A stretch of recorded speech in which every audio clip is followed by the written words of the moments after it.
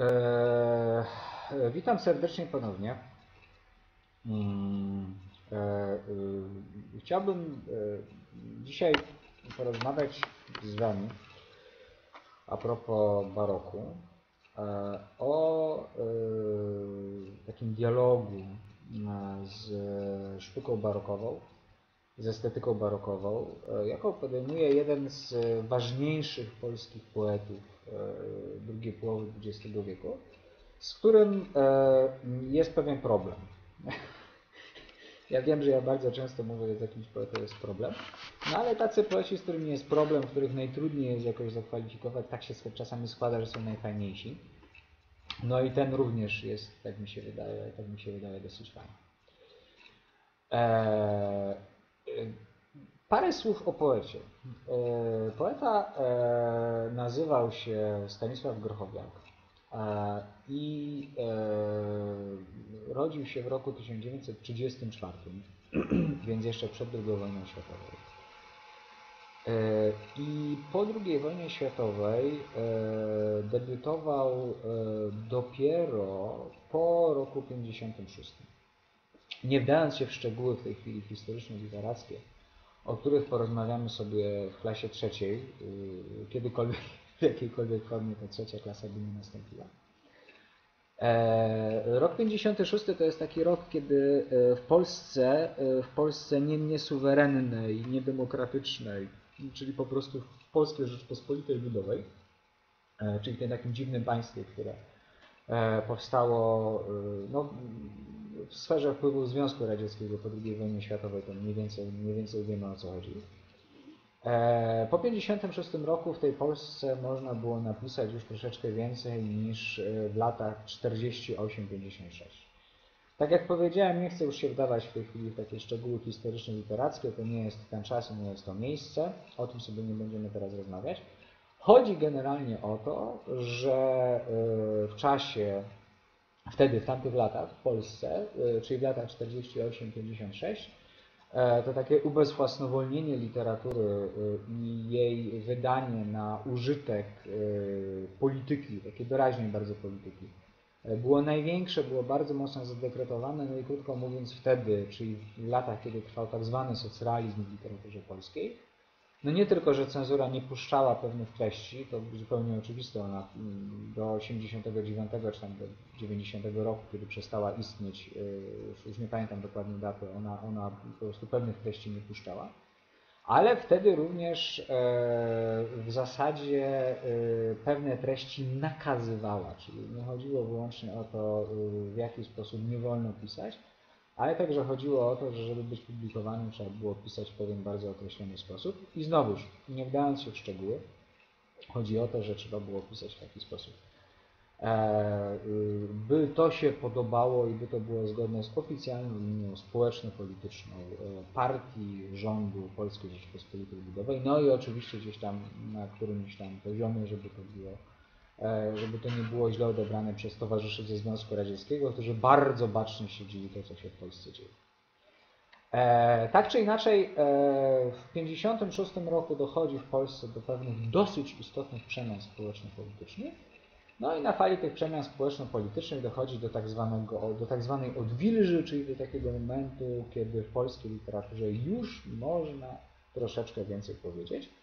No i wtedy e, debiutują e, w zasadzie w jednym roku, a w każdym razie bardzo, bardzo, e, w bardzo krótkim odstępie czasu debiutują poeci, którzy do tej pory byli takie zamrażarce.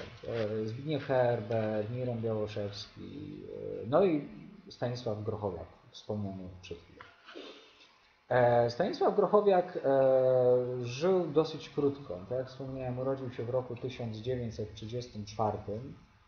E, e, Zmarł w 1976, no więc mamy tutaj człowieka niewiele ponad, ponad e, 40-letniego. E, Napisał sporo. Napisał sporo i te jego kolejne tomy wierszy, które ogłaszał począwszy od roku 56, kiedy ukazała się Ballada Rycerska, pierwszy tom jego wierszy. E, one mają dosyć duże znaczenie dla historii literatury polskiej, przy czym rzeczywiście jest tak, że jakoś ten Grochowiak ma wrażenie, że jest tak traktowany troszkę jak w historii polskiej poezji współczesnej Pernowa i że on jest gdzieś taki zepchnięty trochę, zepchnięty trochę na margines. Gdzieś tam jest w tle pod y, Szymborską, pod Herbertem, pod Białoszewskim, pod Miłoszem, pod Różewiczem, e, no i też pewnie pod Barańczakiem czy Twardowskim. No i gdzieś tam rzeczywiście on tam żyje sobie takim trochę, takim trochę drugoligowym życiem, byśmy powiedzieli.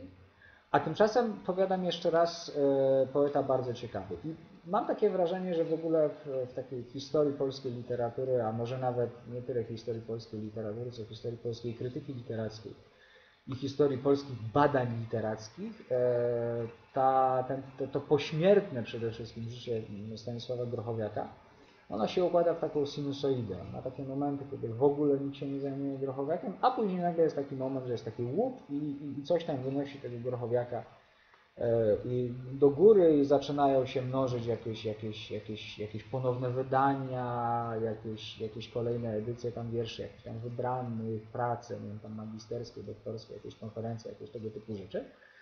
E, a później znowu gdzieś tak sobie opada i podnosi, opada, podnosi, opada. Co świadczy o tym, że to jest taki poeta, który jest nieoczywisty, że jest nim coś takiego, co gdzieś, gdzieś, gdzieś bardzo mocno e, bardzo mocno rezonuje i, no, i, sprawia, że od czasu do czasu ktoś sobie o tym poecie przypomina i znajduje tam coś takiego, co warto by było, no, warto by było wydać. Życie Grochowiaka było dosyć skomplikowane. E, tutaj już jakby no, nie, nie wdając się w szczegóły, no, Grochowiak miał też takie momenty polityczne w swoim życiu dosyć dość niejednoznaczne. E, no bo z jednej strony rzeczywiście on e, na przykład e, dość ciekawie też poetycko reagował w roku 68, wtedy kiedy nastąpiła inwazja wojsk Układu Warszawskiego na Czechosłowację i tutaj wykazał się taką dość, dość, dość, dość, dość, dość, dość ciekawą postawą. No ale miał też momenty takie, kiedy dawał się bardzo mocno wasalizować przez system. I gdzieś tam rzeczywiście, rzeczywiście jest taką postacią niejednoznaczną. No poza tym był człowiekiem, no, to, to, to, chyba nie, nie jest żadna jakaś wielka sensacyjna tajemnica. No, był człowiekiem, który był po prostu chorym e, e, od alkoholu. No, tutaj to, no, może nie, nie ma się czym szczególnie chwalić, ale też jakoś tam to na pewno na jego życie wpłynęło. No i bardzo mocno przyspieszyło jego przedwczesną śmierć. Więc rzeczywiście taka postać, e, taka postać troszkę, troszkę, e, troszkę nieoczywista i no chyba niezbyt, niezbyt, niezbyt szczęśliwa. E, on miał też taki moment w swoim życiu, tuż po debiucie, kiedy odebrał straszny bęsk. Bo to, w jaki sposób on zadebiutował i jak później gdzieś tam te swoje wiersze E, y, te swoje wiersze pisał dalsze. Był bardzo konsekwentny. To jest taki poeta, który właściwie od samego początku jest, y, jest poetą mocno ukształtowanym już.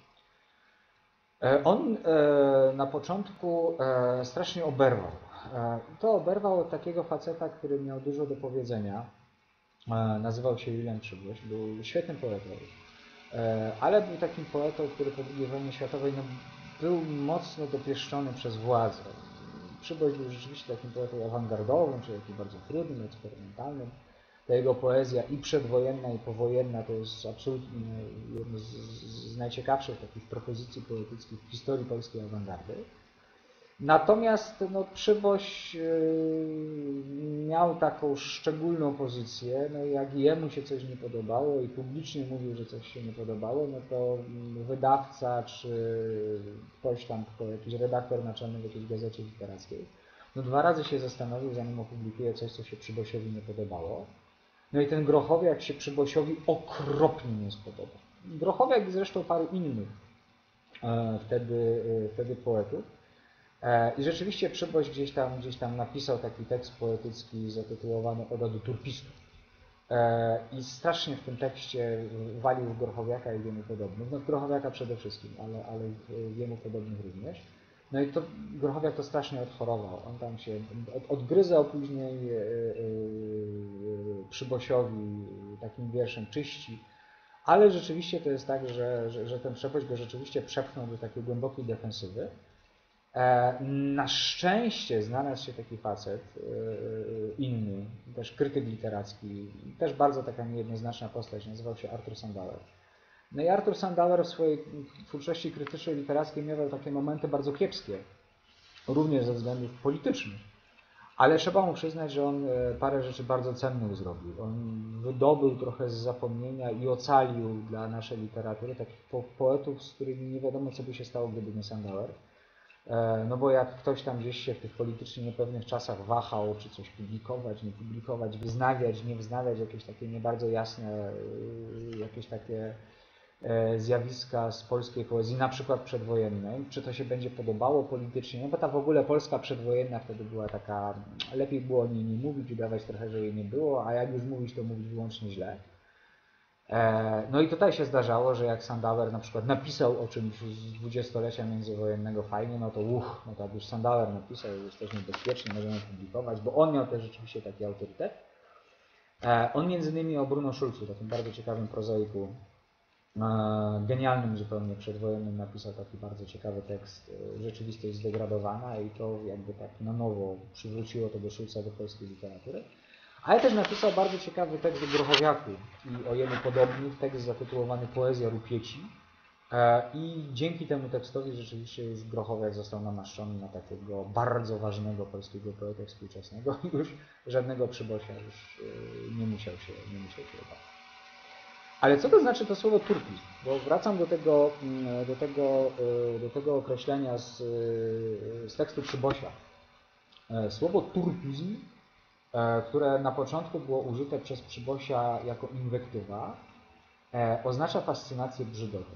E, I mówimy o turpizmie, bo to nie jest od trupa, czyli od mm, kogoś martwego, tylko od francuskiego type, czyli brzydkie, czyli jest takie nieładne.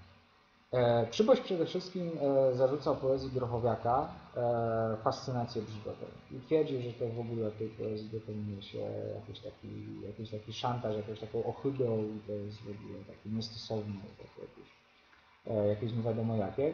Notabene no, to stanowisko Przybosia strasznie trudno bronić, bo ono jest w moim przekonaniu kompletnie idiotyczne. No ale skoro Przyboś tak powiedział, no to tak jak powiedziałem, on miał takie, no, miał bardzo duży zasięg rażenia.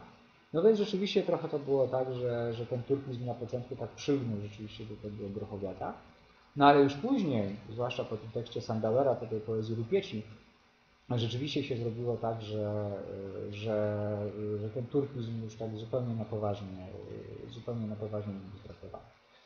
E, więc rzeczywiście to jest tak, że, y, że, że trosze, troszeczkę tak to jakby nam się, jakby nam się w tej naszej, w tej naszej poezji tak z tym grochowakiem podziało. Gdzieś tam trochę Przybyś go boksował, y, Sandauer go wynosił. Jeszcze już tak w tej chwili nie pamiętam dokładnie jak to było z tymi tekstami Przybosia i Sandauera, czasowo są względem siebie. E, ale na pewno to było tak, że Grochowiak gdzieś tam przez jednych był jakoś doceniany, a przez drugich był traktowany w bardzo taki niefajny sposób. Natomiast faktem jest, że to określenie turpizm, turpistyczny i tak dalej, i tak no było takim określeniem, które y, bardzo prędko zaczęło być stosowane e, y, jakby na przekór Przybosiowi. To znaczy mm, określano tym słowem turpistyczne po prostu to, co w poezji jest takie brzydkie, takie niefajne, takie, takie jakieś na pierwszy rzut oka niegodne poezji. No i rzeczywiście to jest troszkę tak, że gdzieś tam, gdzieś tam E, gdzieś tam być może rzeczywiście źródła tego turpizmu tkwią e, w tej takiej barokowej estetyce szoku. E, na pewno Grochowiak jest takim poetą, który gdzieś tam rzeczywiście takie tematy barokowe podejmuje i któremu jest z barokiem po drodze. Dlatego chciałbym, żebyśmy teraz przez parę minut się nad tym zagadnieniem zastanowili, odnosząc się do jednego tekstu, do jednego tekstu, który mam przed sobą do lekcji anatomii. E, Rembrandta. Tak jest zatytułowany ten tekst grochowy.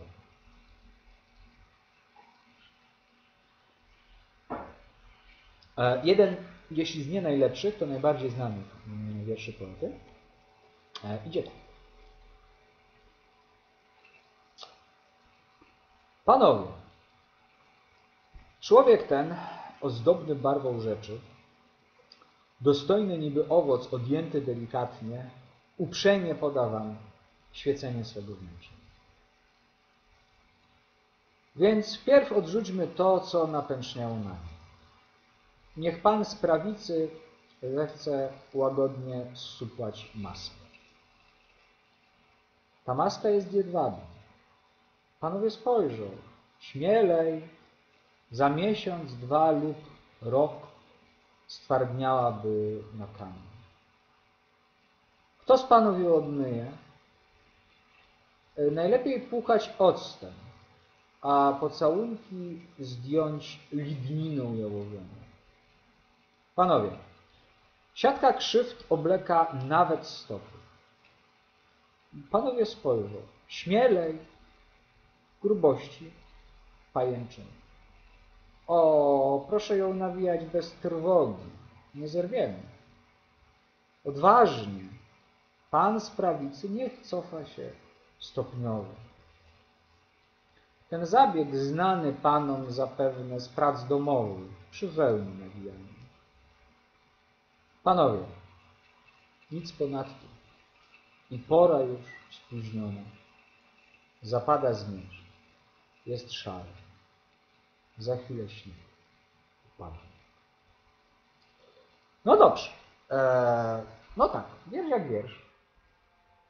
Eee, pierwsze, co musimy sobie ustalić, kiedy rozmawiamy o tym wierszu, żebyśmy wiedzieli, o czym, o czym rozmawiamy. E, wiersz, e, lekcja anatomii e, Rembrandta e, wyraźnie wskazuje na to, że to jest tekst, który jest opisem malarskiego dzieła. To jest taki specyficzny, e, jakby taki podgatunek czy nurt poezji lirycznej, który nazywamy ekfrazor.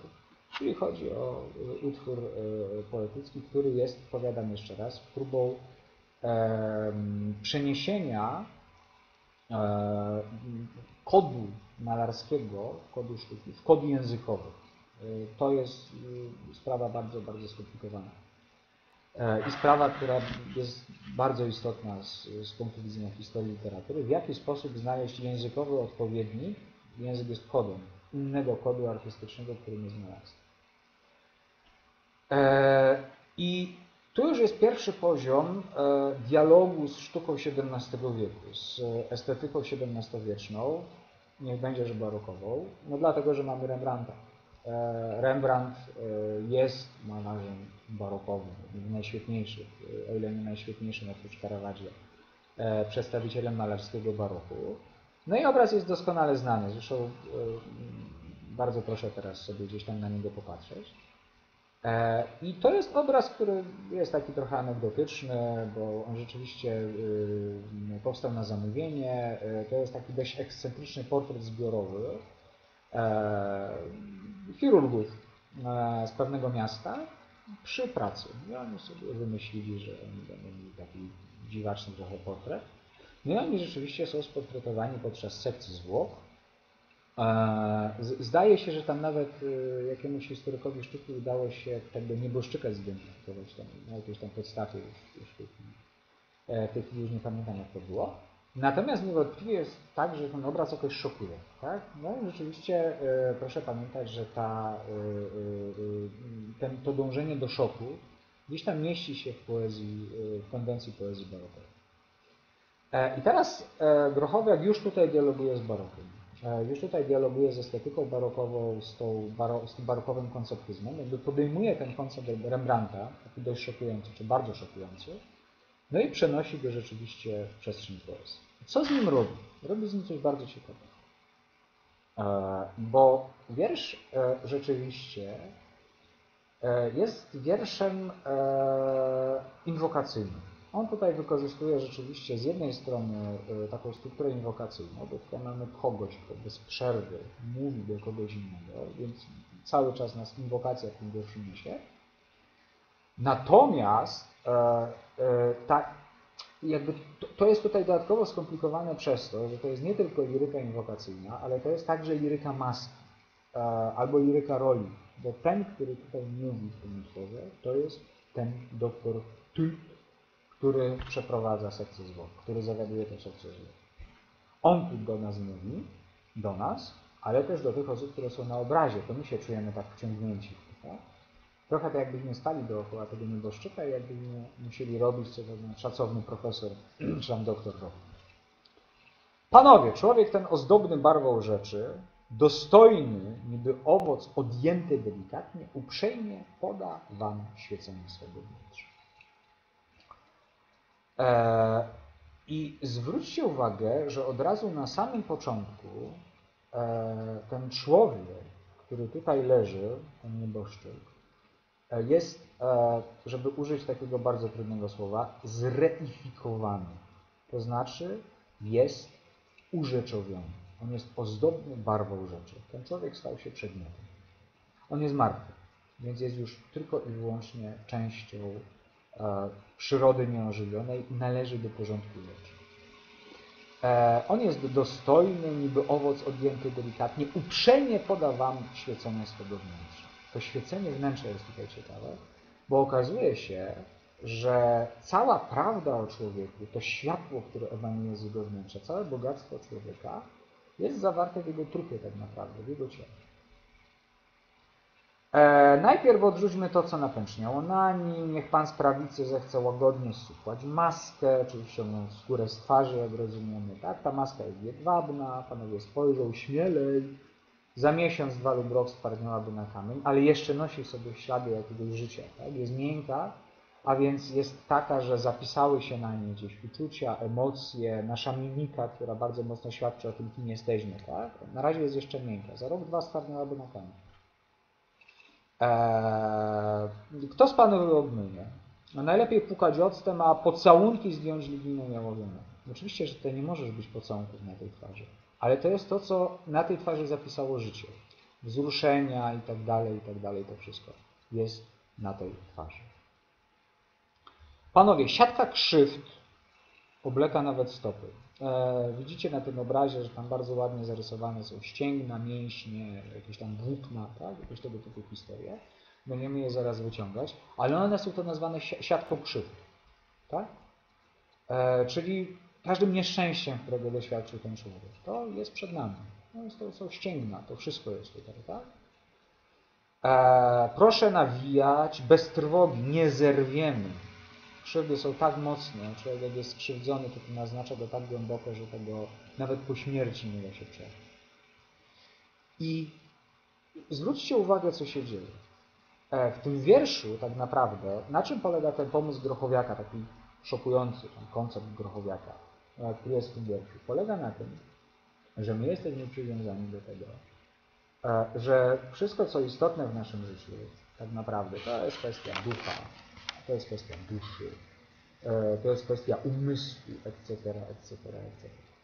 A tymczasem e, Grochowiak mówi coś takiego e, i on w bardzo ładny sposób to tutaj wykonuje w tym wierszu. On mówi tak naprawdę, to wszystko, wszystko co wydarza nam się w życiu, dobre i złe, piękne i brzydkie, szlachetne i podłe, wydarza się w naszym ciele naznacza się na naszym ciele. I to nasze ciało, e, które tak naprawdę bardzo często chcemy przekroczyć, bo chcielibyśmy być czystym duchem, czystym sercem, czystym umysłem, czystą duszą i tak dalej, i tak. Grochowiak mówi, duch, ciało, umysł, nawet jeżeli istnieją, a, a tutaj Grochowiak nie ma nam nic dobrego do powiedzenia, bo ten wiersz kończy się bardzo smutno. Panowie, nic ponadto. I pora już spóźniona, jest szaro za dywany. Nic ponad to wszystko. To na tym stole, to jest cały człowiek.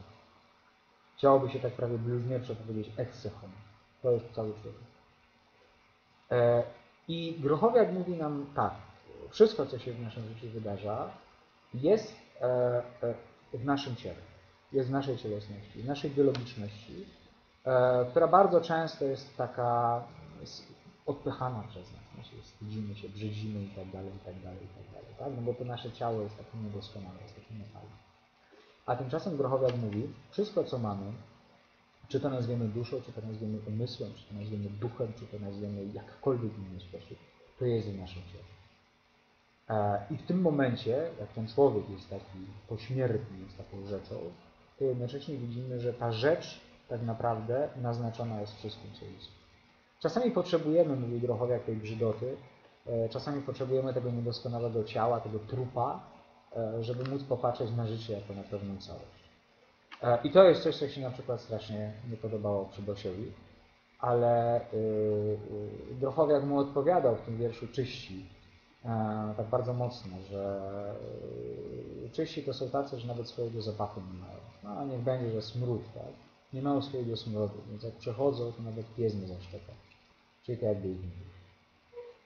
E, bardzo fajny wiersz. E, Grochowiak e, jednocześnie eksploruje tą brzydotę w jeszcze jeden bardzo ciekawy sposób. Ten wiersz jest odpychająco brzydki językowo. Tutaj w zasadzie jakby chciałem zrobić taką analizę gramatyczną, taką nauczycielską, jakby go popodkreślać, to są same błędy w tym wierszu. Y, za dużo przymiotników, dostojny, niby owoc, objęty, delikatnie, uprzejmie, aż się prosi, żeby tutaj jakoś to poprawiać, tak? Świecenie, nie ma takiego słowa, światło. Śnieg nie może upaść, śnieg może spaść. To jest błąd frazeologiczny.